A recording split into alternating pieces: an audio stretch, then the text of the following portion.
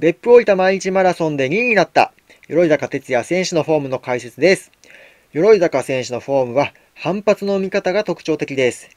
鎧坂選手の姿勢ですが、下を向いて走ってますよね。姿勢はよく見えないかもしれませんが、これは腹筋を優位に使っている選手の特徴です。